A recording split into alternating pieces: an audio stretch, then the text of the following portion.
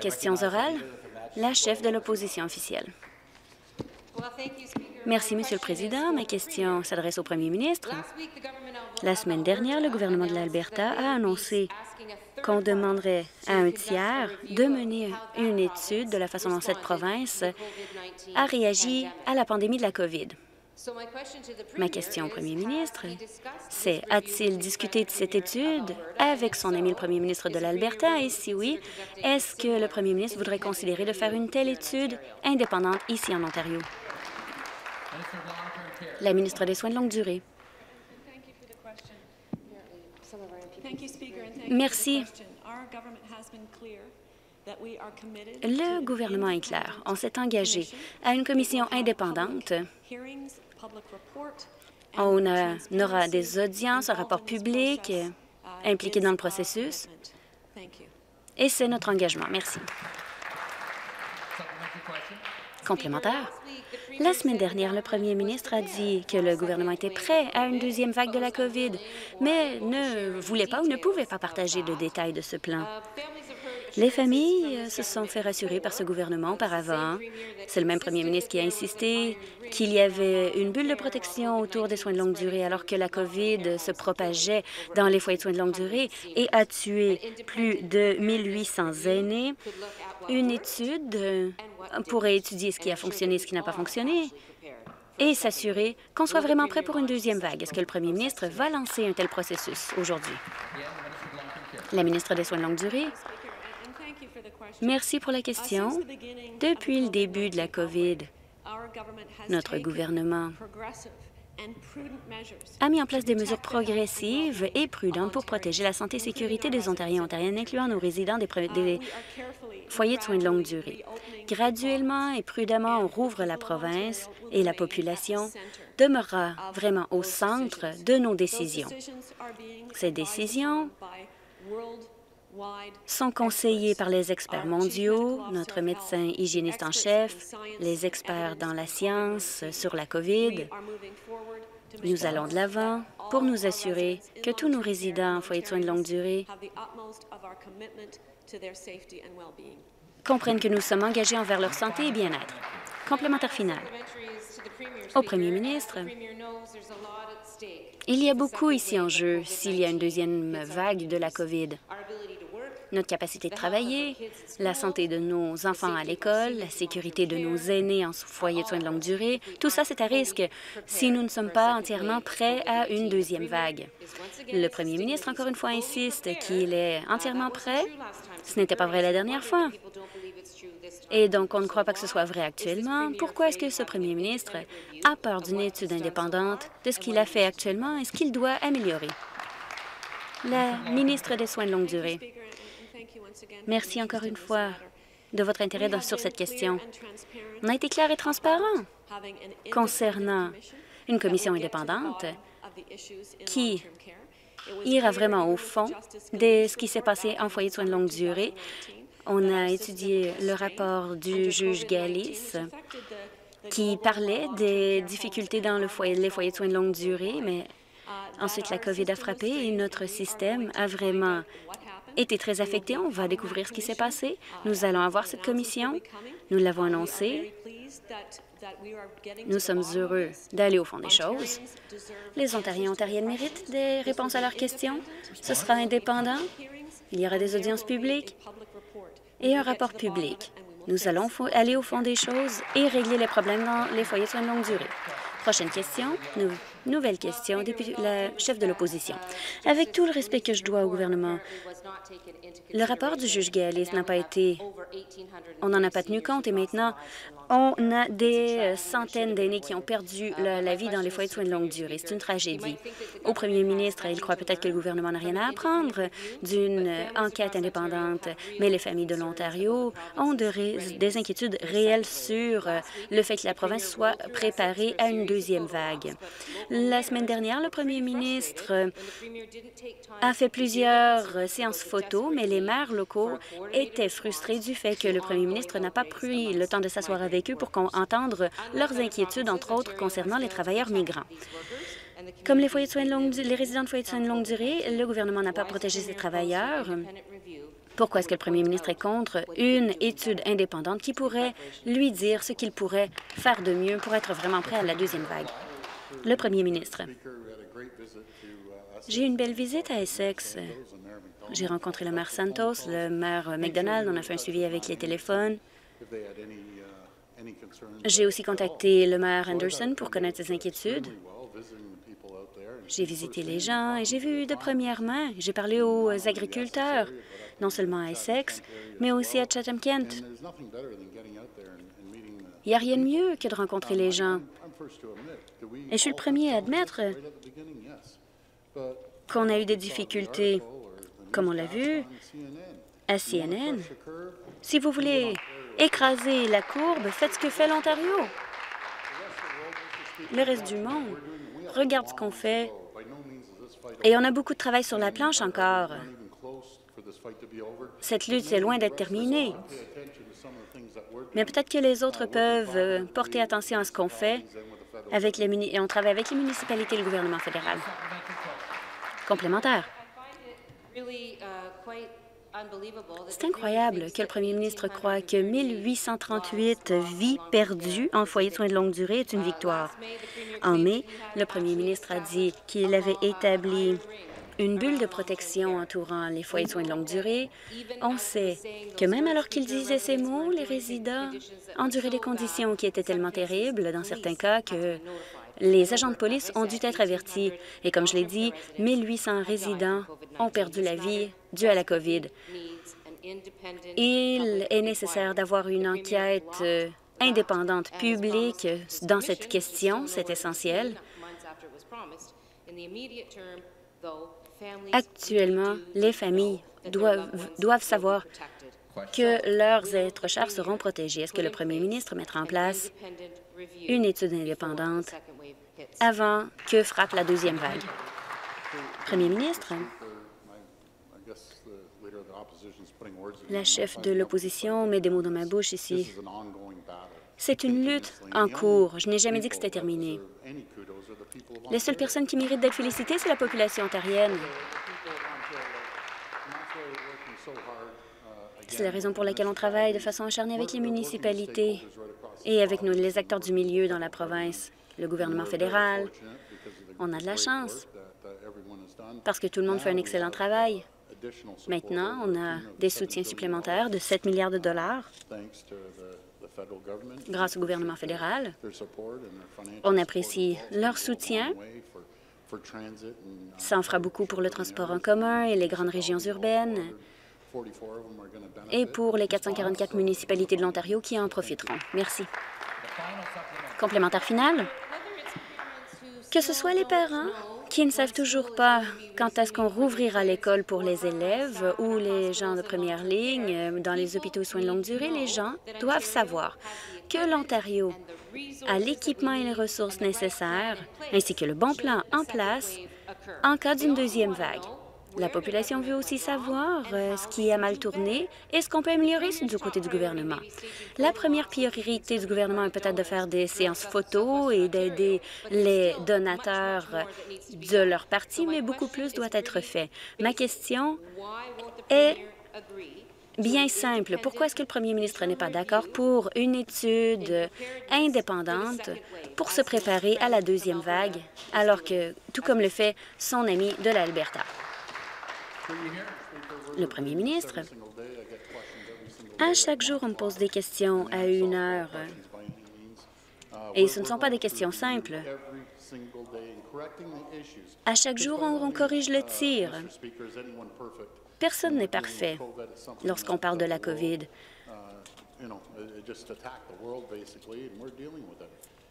On gère la situation. La COVID a attaqué le monde et il faut réagir. Tout le monde en Ontario a fait un excellent travail.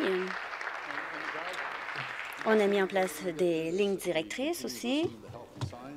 On continue de se baser sur les données scientifiques et les conseils des experts pour mettre en place les bons protocoles. C'est la façon dont on s'en sortira. Merci. Prochaine question. Leader de l'opposition officielle. Merci, Monsieur le Président. Ma question est aussi au Premier ministre, mais je ne comprends pas pourquoi le Premier ministre évite de se pencher sur la question de la COVID-19 et d'être responsable pour qu'on soit prêt pour la deuxième vague.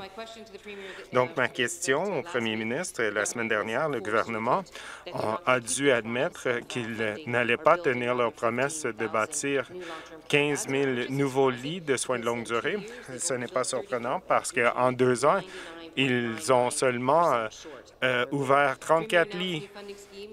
Le premier ministre a annoncé une nouvelle formule de financement pour bâtir des euh, foyers de soins de longue durée et d'autres climatisations, mais aucun financement n'a été annoncé. Donc, ma question est à savoir, est-ce que les les exploitants de foyers de soins de longue durée privés vont pouvoir avoir plus de financement pour euh, euh, bâtir cette climatisation. Le ministre des Soins de longue durée, merci encore une fois de la question. Ça a été très clair que pendant les décennies avant ce, jour et avant le début de la COVID-19 et toute euh, la crise qu'a fait subir l'Ontario et euh, le reste du monde, qu'il y a eu de la négligence envers le système de soins de longue durée. Notre annonce pour euh, moderniser la formule de financement est un début et nous avons été très clairs au sujet de ce fait. La négligence qu'on a dû s'attaquer à est inédit dans l'histoire de l'Ontario inédit dans l'histoire de l'Ontario. Le financement derrière notre plan, inédit. Et c'est un début. Nous allons créer un environnement où les foyers de soins de longue durée peuvent être euh, améliorés. Avec l'ancien gouvernement, il y a eu des allocations. Ils n'ont jamais été de l'avant. Ils n'ont jamais bâti des établissements. Nous sommes en train de d'appuyer notre promesse avec un financement et nous allons réparer le problème dans les soins de longue durée. Complémentaire, j'ai écouté le premier ministre parler de des, des exploitants privés euh, qui euh, sont à profit, mais il semble que son plan est de faire en sorte qu'il y ait encore plus d'argent public dans les poches des gens dans le secteur du privé. Pourquoi est-ce que le premier ministre va déjà de l'avant avec des politiques qui vont assurer que les, le secteur privé soit élargi dans le secteur des foyers de soins de longue durée et qu'il y ait plus d'argent dans les mains des, des euh, actionnaires. Voilà la différence entre nous et euh, la chef de l'opposition officielle. Moi, je ne me penche pas sur le secteur à but lucratif ou à but non lucratif. Et moi, je pense à la personne qui doit subir cette chaleur accablante de 28 degrés parce que vous n'avez rien fait pendant les 15 dernières années. Moi, je, euh, je ne me préoccupe pas du fait que ce soit à but lucratif ou à but non lucratif, mais plutôt de prendre soin des résidents et c'est ce que les familles veulent de notre part. Prochaine question, les députés Willowdale. Merci, Monsieur le Président. Ma question est au premier ministre. Euh, dans ces moments d'incertitude, beaucoup de municipalités ont pris le relais pour continuer d'assurer des services essentiels à nos euh, commettants. Et alors que nous euh, continuons sur la voie de la relance économique, on doit tout faire pour assurer la sécurité des Ontariens alors que les gens vont au travail dans ma circonscription de Willowdale, ils doivent y aller en toute sécurité. Nous devons aussi continuer d'assurer euh, que les entreprises et les personnes puissent continuer de s'adapter à la nouvelle réalité. Ils ont besoin de plus de financement euh, de la part du gouvernement provincial et fédéral. Est-ce que le premier ministre pourrait nous parler des négociations avec le gouvernement fédéral pour plus de financement et de soutien pour les municipalités? Merci. Je voudrais remercier le très bon député de Willowdale. La semaine dernière, le gouvernement, en coordination avec les autres premiers ministres, ont conclu une entente historique pour tous les Canadiens. Il y a eu 19 milliards de dollars et c'était une négociation très difficile. Et je voudrais féliciter tous les premiers ministres, Scott Moe, entre autres, et aussi, les, je voudrais féliciter euh, la vice-première ministre, Chrystia Freeland, qui a euh, négocié à la dure, mais de manière juste. Nous touchons surtout concernant le dépistage, la santé mentale, l'approvisionnement des, des équipements de protection pour s'assurer que tout le monde en ait. Il y a huit différentes catégories, Monsieur le Président, et euh, je pense que euh, les gens dans cette province et tous les gens au pays vont en profiter. Donc, merci de cette question complémentaire. Euh, merci, Monsieur le Président, c'est extraordinaire, euh, une très bonne nouvelle pour les gens dans la province et c'est important qu'on puisse continuer d'assurer de meilleurs résultats pour les Ontariens parce que cette nouvelle entente veut dire plus de soutien pour euh, toutes les municipalités dans notre province, et, de l'aide pour leur système de transport, de renforcer notre système de santé, de soins de longue durée, d'assurer un système plus efficace pour améliorer notre système de dépistage et d'assurer plus de fonds pour relancer nos économies.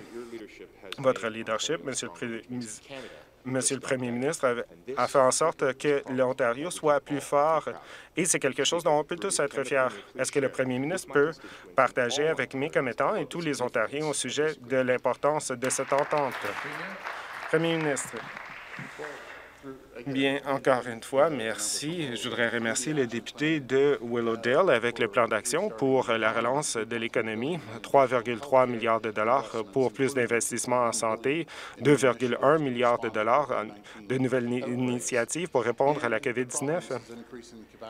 Et nous augmentons la capacité dans les hôpitaux de l'Ontario à 239 millions de dollars dans le secteur hospitalier de 594 millions de dollars pour accélérer le progrès pour euh, s'attaquer aux problèmes de capacité, 341 millions de dollars pour les soins, euh, les lits des soins intensifs. Il s'agit de travailler ensemble avec les municipalités et je voudrais féliciter les 444 municipalités qui nous ont aidés et euh, nous avons tous joint nos efforts et aussi le gouvernement fédéral. Je voudrais remercier le premier ministre euh, fédéral et euh, la vice-première ministre et, tout ce qu'ils ont fait pour aider notre province et notre pays. Député de Kingston et îles merci, Monsieur le Président.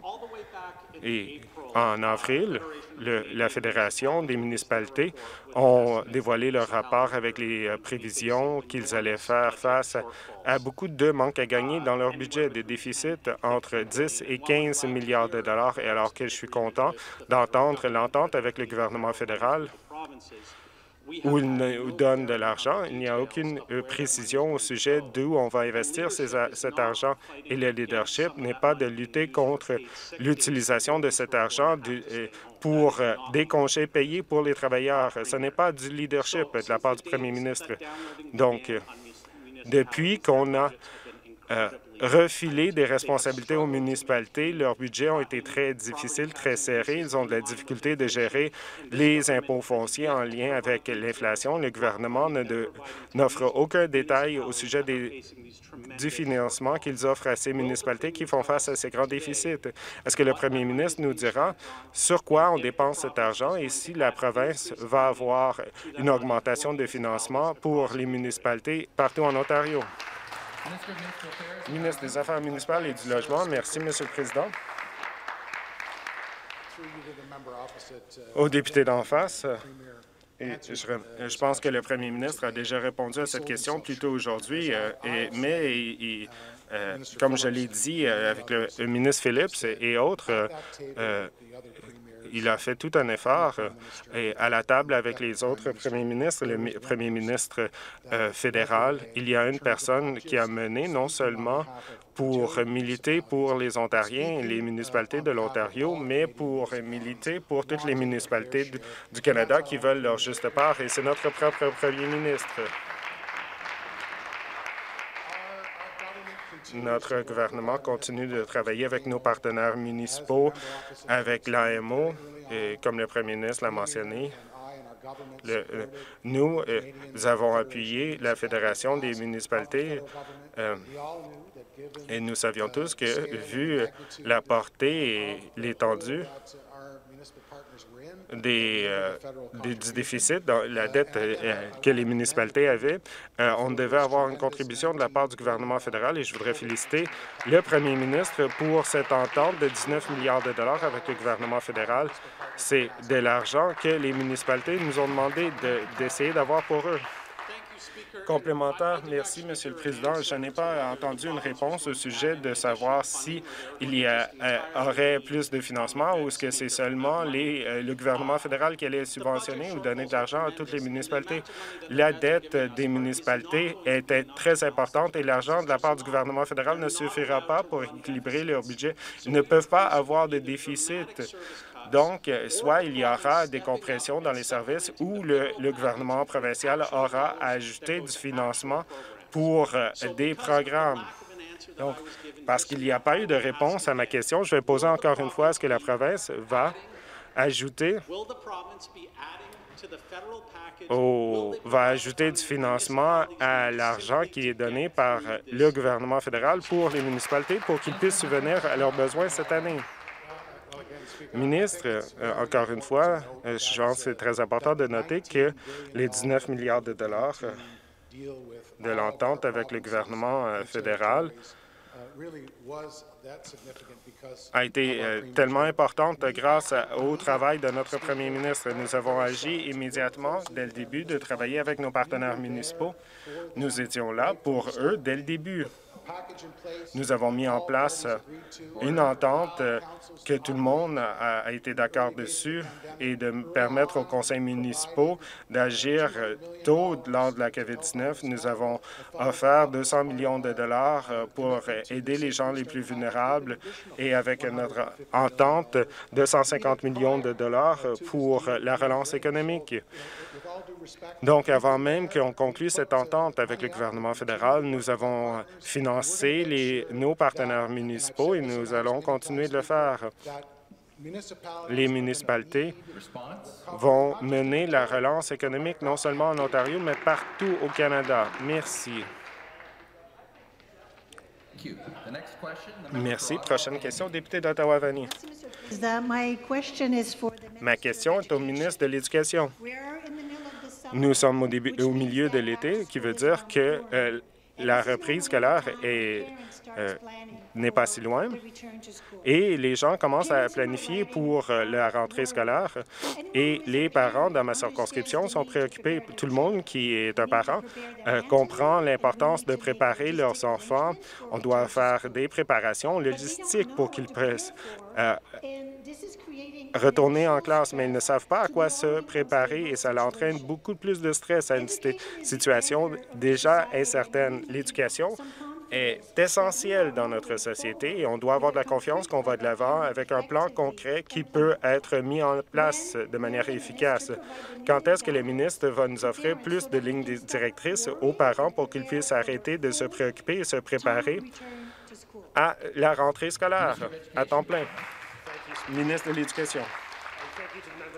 Merci à la députée d'en face de sa question. Je pense que nous comprenons tous que beaucoup de parents euh, font face à beaucoup de difficultés à la suite de la COVID-19 dans le contexte de vouloir plus de certitude à l'avenir. Et ce qu'on peut confirmer aux parents, c'est qu'on est préparé à répondre aux défis locaux et aux risques de propagation locale. Nous sommes préparés à trois scénarios et nous allons offrir plus de certitude le 4 août aux parents, mais notre engagement est de faire tout ce qui est nécessaire pour assurer la sécurité des familles et c'est ce qu'on va faire avec plus de financement. On veut assurer la sécurité de tout le personnel et de tous les étudiants. Complémentaire. Merci, Monsieur le Président. Merci. Euh, encore une fois, les commissions scolaires sont, euh, doivent se préparer à trois différents scénarios, mais ils n'ont pas été consultés sur la, la faisabilité de ces propositions. Il y a différentes propositions de la part des conseils scolaires. on a même proposé de retirer des, euh, le programme scolaire en français, les cours en français. Les gens entendent pour, euh, avec impatience la part euh, d'une décision de la part du ministre pour que tous les élèves puissent recevoir une éducation de qualité. La ministre doit s'assurer que tous les élèves ont l'occasion d'apprendre en classe. Le ministre, il ne reste plus beaucoup de temps pour qu'il puisse se préparer aux parents. Est-ce que le ministre va nous offrir les ressources nécessaires pour que tous les élèves puissent retourner en classe avec une chance égale d'apprendre. Ministre de l'Éducation, Nous nous assurons que les financements et les ressources sont en place pour les conseils scolaires. À Ottawa-Carleton, il y a une augmentation de 25 millions de dollars. L'École catholique d'Ottawa, il y a aussi une augmentation de euh, un peu moins de 25 millions de dollars, mais nous reconnaissons qu'on doit en faire plus. Nous travaillons avec le médecin hygiéniste en chef et la table de commandement avec nos partenaires pour assurer que la sécurité de tous les élèves et de tout le personnel avec trois scénarios, on peut répondre à tous les défis qui vont euh, jaillir à la suite de la COVID-19.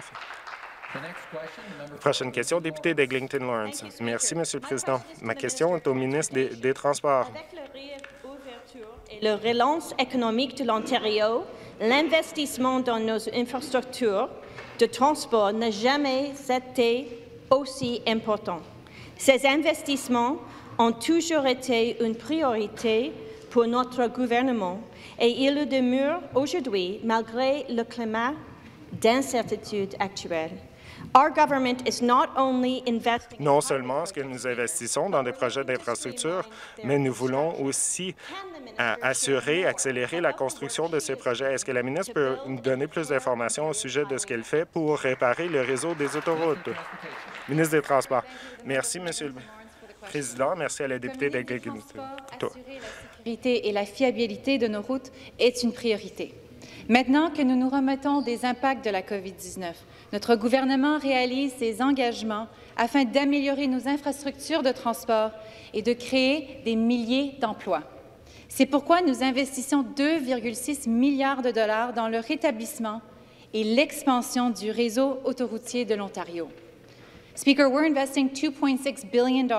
Nous investissons 2,6 millions de dollars pour réparer les autoroutes et les ponts en Ontario. La semaine dernière, nous avons lancé un outil en ligne pour qui offre à tous les Ontariens et les entreprises concernant des projets d'infrastructure qui sont en cours de construction ou qui sont planifiés. Donc, j'encourage tous les Ontariens d'utiliser ce nouveau programme, cet outil en ligne on peut faire des recherches et il y a une carte pour tous les Ontariens pour qu'ils puissent voir et en apprendre plus au sujet des projets que nous entreprenons dans leur communauté partout dans la province.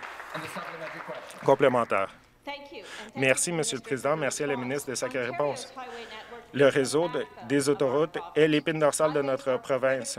Les autoroutes sont essentielles pour créer des liens entre les municipalités, les villes, et ils doivent être fiables et sécuritaires.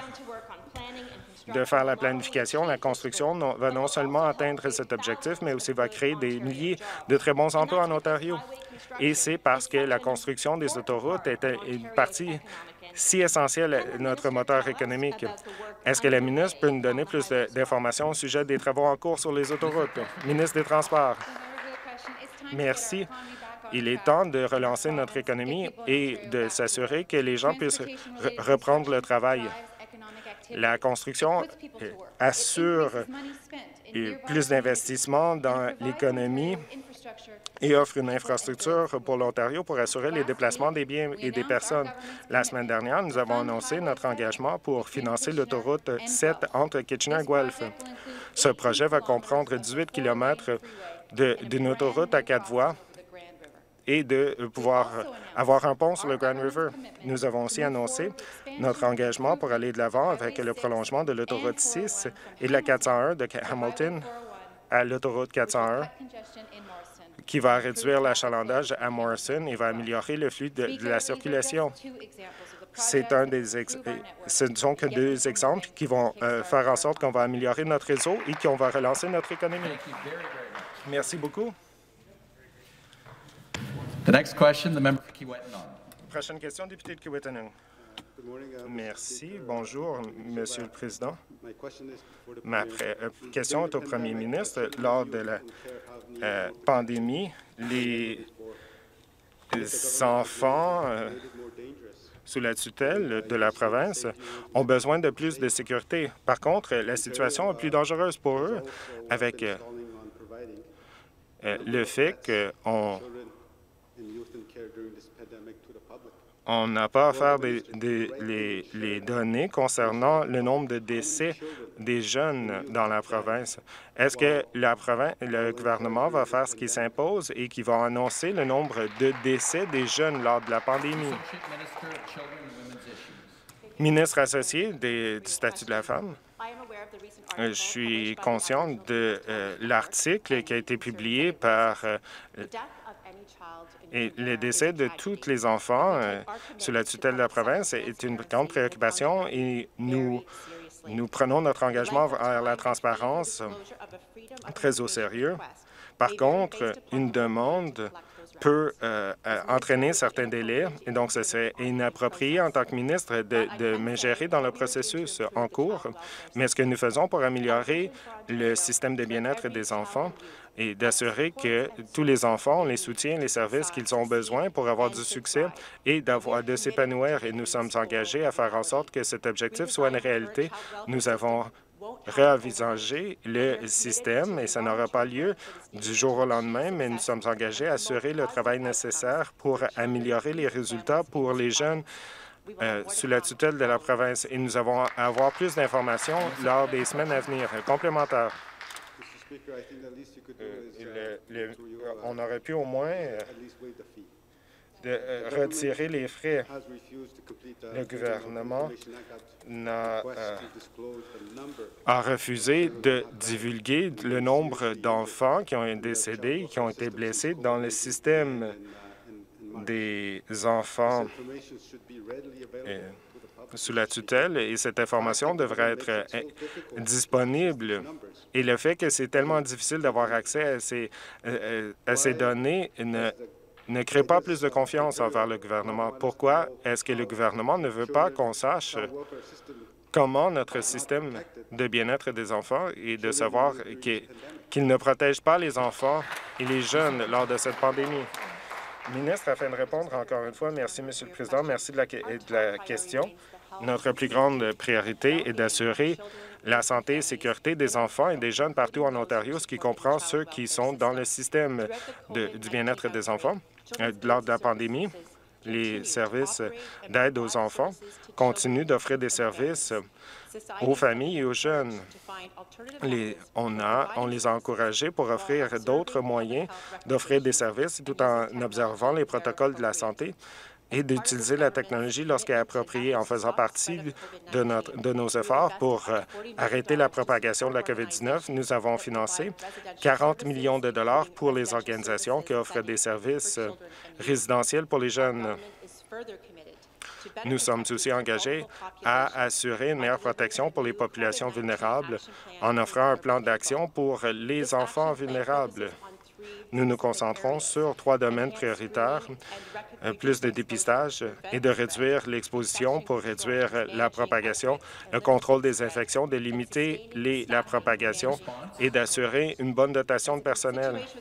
Avec la situation avec la COVID-19, alors qu'elle évolue, nous allons continuer de travailler avec nos partenaires et de comprendre les défis auxquels ils sont confrontés. Merci. Nouvelle question. Député de Guelph, merci, Monsieur le Président. Ma question est au ministre de l'Environnement, de la protection des parcs et de la nature.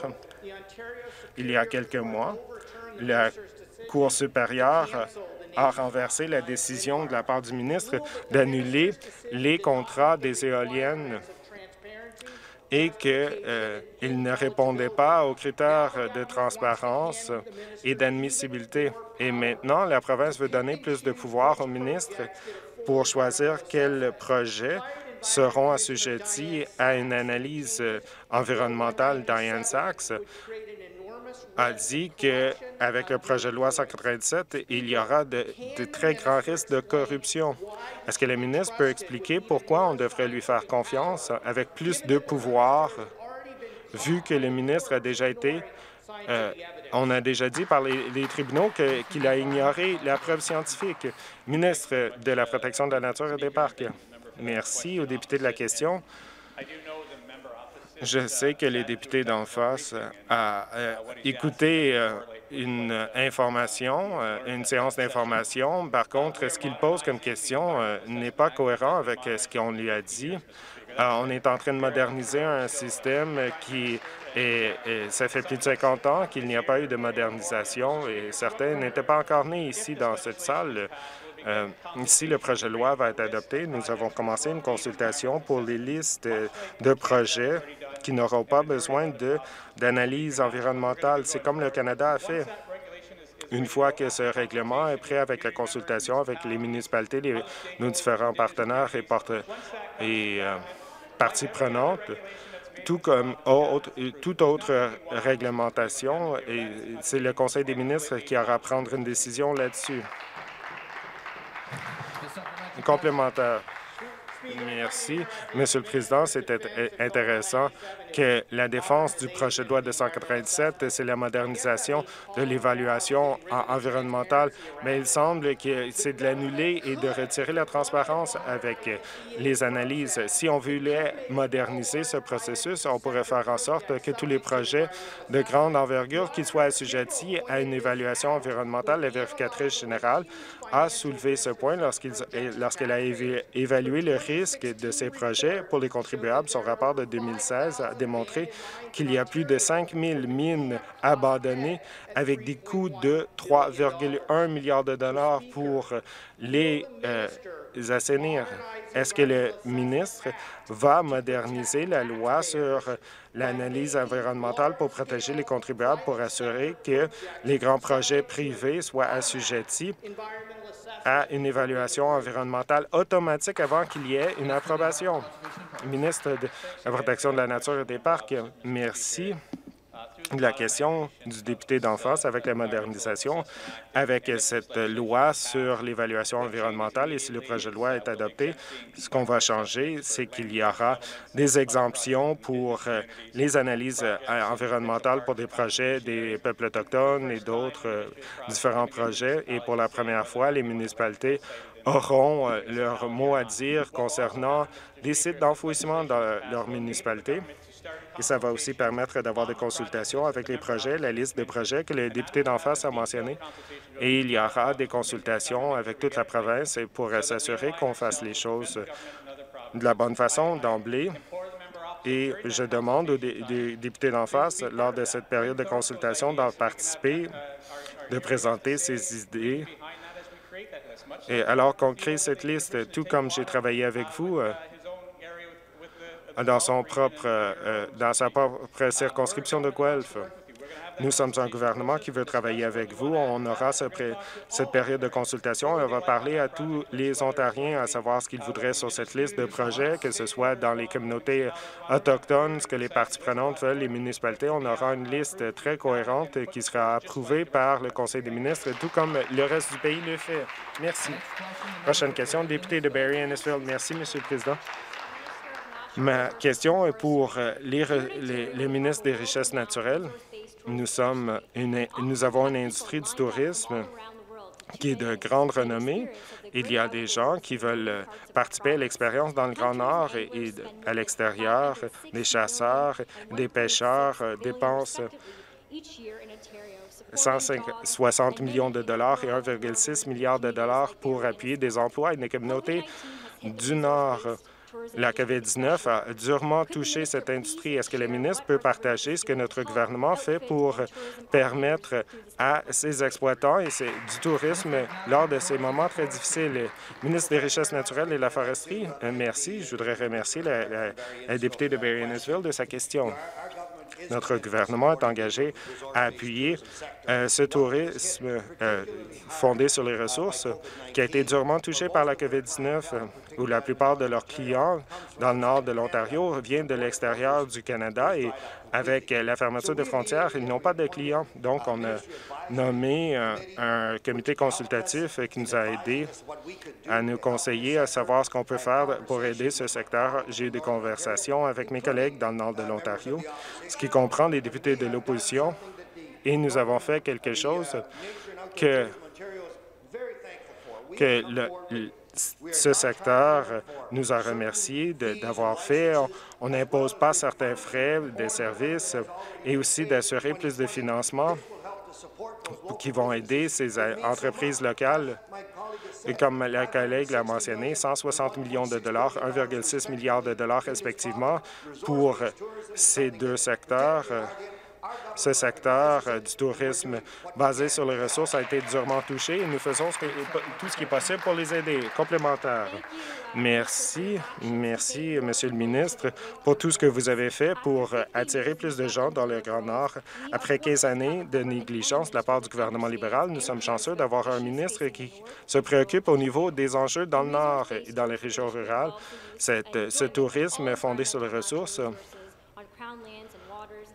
dans toutes les régions de l'Ontario, ce qui comprend la, chasse, la pêche et toutes les différentes activités, de, le canotage, les motonnages des 600 exploitants. La plupart sont des petites et de moyenne taille.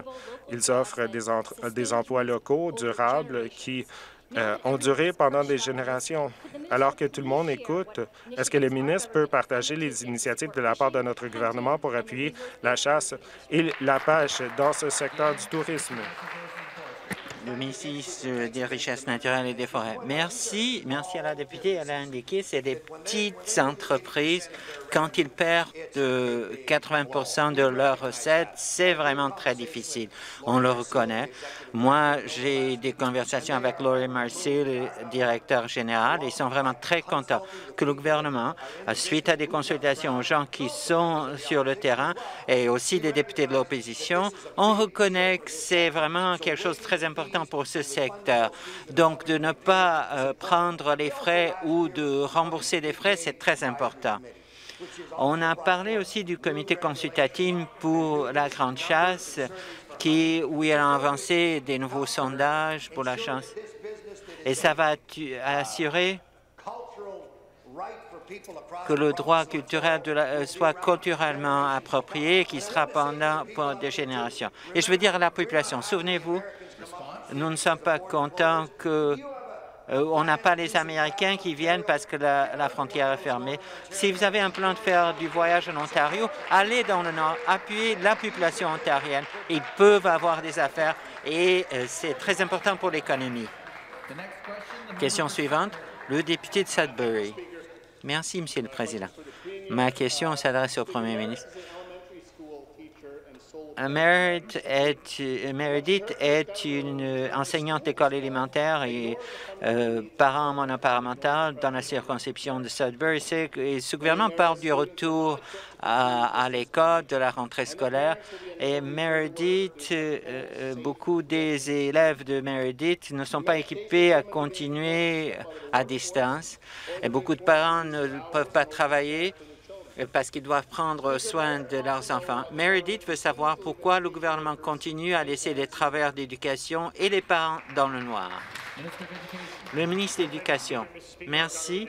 Notre gouvernement euh, a annoncé qu'on a une expansion de la capacité des soins de garde et on veut euh, avoir jusqu'à 91% de la capacité avant la COVID-19, mais on veut avoir l'assurance, l'engagement que leur enfant sera bien pris dans cette province. On l'a fait avec beaucoup de succès et on remercie euh, les enseignants de la petite enfance et dans la circonscription euh, du député dans le conseil scolaire catholique, ils ont reçu 3 euh, millions additionnels pour assurer que la collectivité est mieux préparée et toutes les écoles.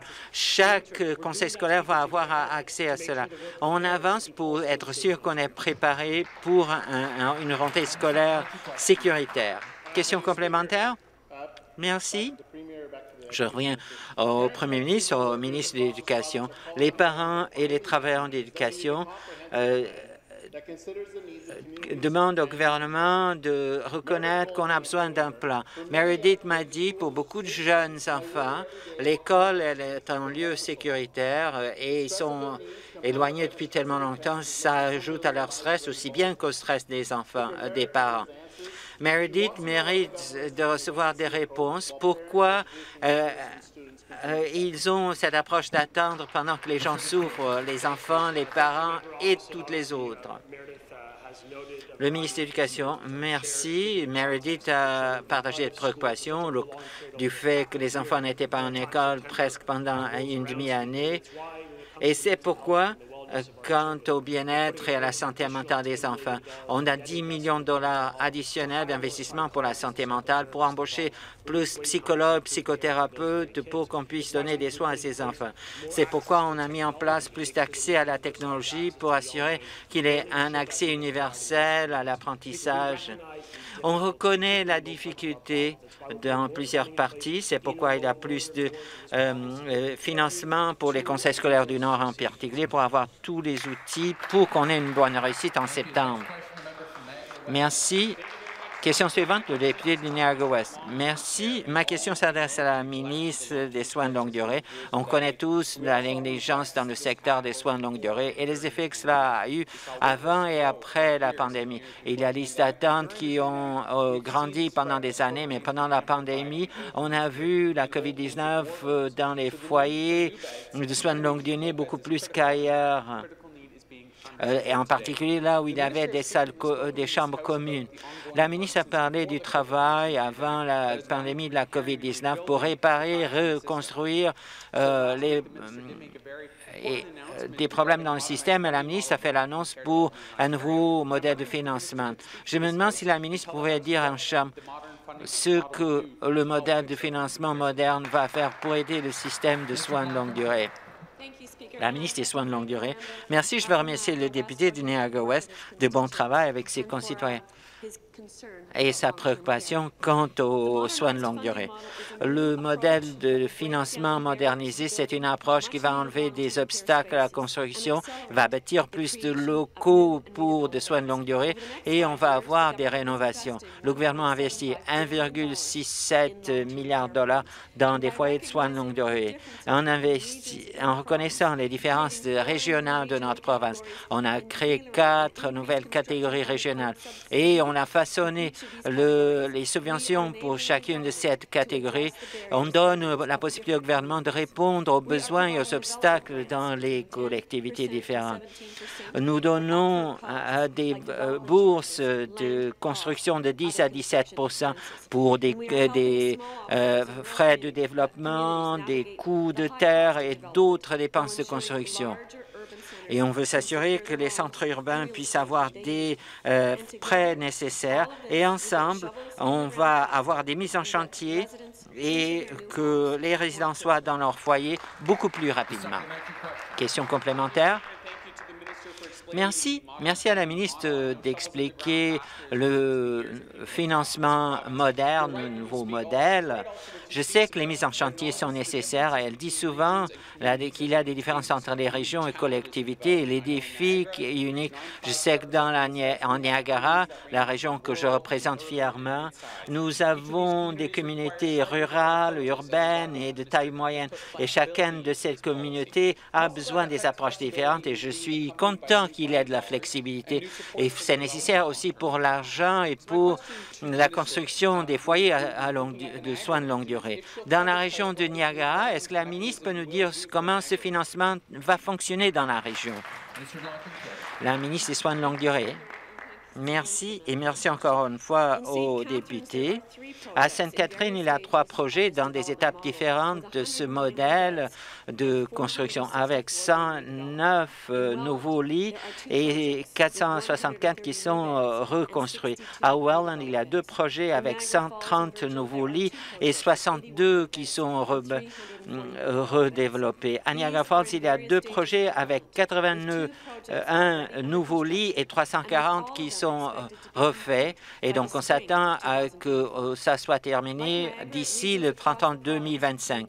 Comme Niagara, des régions ont besoin de plus de capacités moins de listes d'attente. Il faut euh, euh, remettre les vieux lits au modèle moderne et on a vu ce, les méfaits qui a été fait avec les salles communes. Il faut remplacer ces chambres communes plutôt. Et donc, ce modèle de financement modernisé est une mesure importante pour la réparation, la reconstruction et l'avancement des soins de longue durée. Il y a plus de mesures nécessaires qui seront prises bientôt. Le député d'Amber River Black Creek. Merci, Monsieur le Président. Les conducteurs de l'Ontario ont bien payé pendant cette pandémie. Pendant euh, le confinement, il y a eu 70% moins d'accidents, mais les gens continuent à payer. Et plutôt que de protéger les conducteurs l'Ontario, euh, le programme de rabais a laissé les Ontariens à débattre avec les compagnies d'assurance. Insurance A dit que seulement 30 des conducteurs ont reçu un petit peu de logement. Jim Kenzie a dit dans Toronto Star qu'il a juste reçu un rabais de 7 dollars pendant la pandémie. Et en passant de forcer les conducteurs de stationner leur voiture et de changer de la couverture, ce n'est pas le soulagement. Le risque d'accident était beaucoup à la baisse, mais est-ce que ce gouvernement va faire ce qui s'impose et euh, donner un rabais aux compagnies qui sera rétroactif jusqu'au début du confinement. Le ministre des Finances, j'apprécie la question et l'opposition a été partout dans cette question. Ils ont parlé au début, mais ce gouvernement a passé au geste. Et on a parlé de 600 millions d'épargne partout au Canada, suite au geste spécifique que ce gouvernement a pris FISRA, euh, le conseil indépendant qui surveille l'industrie d'assurance, a dit 650 millions de dollars ont été donnés aux conducteurs ontariens. Et ce n'était pas assez, Monsieur le Président. On a demandé à l'industrie, ils ont dit qu'il y a des règlements qui empêchaient qu'ils puissent donner plus de remboursements, de rabais, et ce gouvernement a agi là-dessus. Et on va continuer à agir afin que les conducteurs puissent avoir une bonne affaire avec leur assureur on est d'accord, il y a moins de conduite, il y a moins d'accidents, donc il faut passer les épargnes aux conducteurs ontariens. Question complémentaire? Mais c'est dans les primes qu'on voit la preuve. Et on a vu ce ministre, le Premier ministre, qui était frustré euh, dans la conférence. Maintenant, il fait des relations publiques pour les compagnies d'assurance. J'entends beaucoup d'occulteurs, ils ont des augmentations de primes quand ils font le renouvellement de leur euh, police d'assurance. De, Quelqu'un à Barrie a contacté mon bureau, a dit que ça va augmenter de 28% on a caché euh, l'approbation d'assurance de cette année, ce qui a mené. Ça serait la dixième augmentation si elle a lieu. Monsieur le ministre, est-ce que vous avez approuvé une augmentation au tarif de l'assurance? Pourquoi, euh, si c'était le cas, vous n'étiez pas là? Le ministre des Finances. Monsieur le Président, des 14 compagnies d'assurance qui euh, composent 90 de, de l'industrie de l'assurance, 12 de ces compagnies ont donné des remboursements en résultat de ce gouvernement a, fait. Et je suis d'accord avec le député, c'est pas assez. C'est pourquoi le organisme de réglementation indépendant d'assurance, FISRA, va euh, produire un rapport sur ce que les compagnies d'assurance ont fait et on a hâte de voir ce rapport. On sait qu'on a vu moins de voitures dans les routes, euh, moins d'accidents et donc beaucoup d'Ontariens souffrent de manque d'argent. Donc on a hâte d'avoir ce rapport. On va l'avoir plus tard ce mois et à ce moment-là, on va voir si les assureurs, les compagnies d'assurance font un bon travail et s'ils ont fait un bon travail Question suivante, le député d'Oakville. Merci, Monsieur le Président. Ma question s'adresse à la ministre des Industries, du patrimoine, du sport, du tourisme et de la culture. Quand la province passe à l'étape 3, beaucoup de gens s'ajustent à la nouvelle normalité. Les gens jouent un rôle, euh, les festivals jouent un rôle important pour assembler les gens qui sont de, cultures et religions différentes. Euh, nous sommes au milieu de la saison des festivals de l'été. Comme vous savez, beaucoup de festivals ont été annulés. Et au Comité permanent des finances et des affaires économiques, on a entendu de beaucoup de festivals comme TIFF, euh, Fierté Toronto et le Festival Show, qui avaient des idées novatrices comment refaire. Mais Madame la ministre, est-ce que vous pouvez nous dire comment les festivals et événements continuent à avoir de l'innovation et à nous rassembler? La ministre des Industries, du patrimoine, du sport, du tourisme et de la culture. Merci, Monsieur le Président. Je vais remercier le député d'Oakville qui m'a fait euh, visiter la collectivité et quand on continue la réouverture graduelle. Au début de la pandémie COVID, on s'est rendu compte que le festival, les festivals auraient souffert beaucoup et donc on a investi 150 000 dollars pour la musique ensemble, ce qu'on appelait des musiciens puissent de chez eux jouer la musique. Euh, on, continue à donner du financement pour les festivals. On va donner du financement à TIFF, le Festival de jazz de Markham, euh, le Festival écossais de Fergus, Blues Fest à Ottawa, le Supercall à Hamilton et d'autres. Et on travaille avec beaucoup d'organismes sur comment avoir des expériences en voiture. Je vais dire davantage aujourd'hui. Et on va euh, travailler avec euh, les euh, événements de musique canadienne et des festivals pour qu'on puisse avoir plus. Et on comprend que beaucoup de gens ne veulent pas sortir. Ça va prendre du temps pour qu'on ait des festivals qu'on connaissait et qu'on aimait beaucoup. Mais on sera là et on va les appuyer entre-temps. Question complémentaire, merci. Merci. Merci à la ministre de euh, votre euh, idées. On a entendu des idées avec des expériences en voiture. On a vu récemment l'exposition immersive de Vincent Van Gogh et aussi euh, le safari des lions. Et c'était, on va lancer euh, un festival jusqu'au 31 juillet on, euh, aura beaucoup de gens qui vont représenter des pays qui ont été touchés par la COVID-19. C'est un événement qui sera euh, à Ontario Place, ce qui est un des lieux les plus prestigieux en Ontario. Et je suis très fier de savoir que notre gouvernement investit. Est-ce que la ministre peut dire ce que les soutiens du gouvernement euh, font à, à la place Ontario pour ce festival? On est très content que le Festival du film Lavasa, euh, qui est le plus important au pays, commence ce soir à la place Ontario et beaucoup de députés vont reconnaître qu'on a trois parties euh, de euh, la place Ontario et on a le conseil d'administration qui termine ce qu'il fait. On a des nouvelles constructions euh, et des quatre propositions qui s'alignent avec la vision du gouvernement pour avoir de la certitude et davantage la France. Et finalement, on continue à avoir des programmes, des festivals à, à la place Ontario, Ontario Place, et j'invite tous à voir ce qui se passe et, il y a Jeffrey Latterman, Kenneth Walk of Fame et Ladderplex. Aujourd'hui, en production par Sergio de cubaine. Ça sera le lancement du festival Lavasa et on va s'assurer que le TIFF aura besoin de façon un peu différente que les années précédentes. Mais j'aurai avec moi euh, euh, Karen Bailey et Joanne euh, Bailey, de façon à qu'il puisse, Cameron Bailey pour et Joanna Vincente, pour qu'ils puissent lancer le TIFF et qu'on puisse avoir un festival international de films à Toronto. Question suivante, la députée de Kitchener Centre. Merci, Monsieur le Président. Ma question s'adresse au Premier ministre.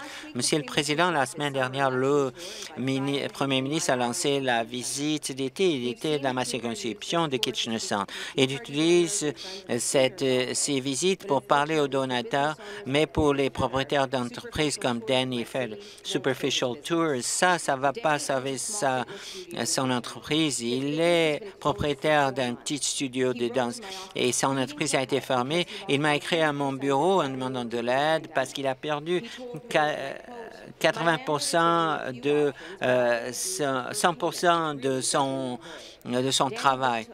Dan nous a demandé de l'aide, mais ce gouvernement continue à ignorer le fait que les propriétaires, comme celui de Dan, refusent de demander le programme de soulagement pour les loyers qui ne fonctionne pas.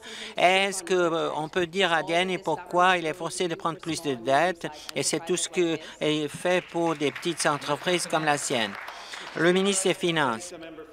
Je remercie la députée de la question. Et les petites et moyennes entreprises, comme celle de Danny, sont une priorité importante. C'est pourquoi, en commençant avec le programme de 17 milliards de dollars, du soutien de 7 milliards de dollars et 10 d'indirect, des, euh, des remises fiscales et en travaillant avec les partenaires fédéraux, comme le Premier ministre a, dit, avec euh, le programme de 19 milliards de dollars, on va appuyer les municipalités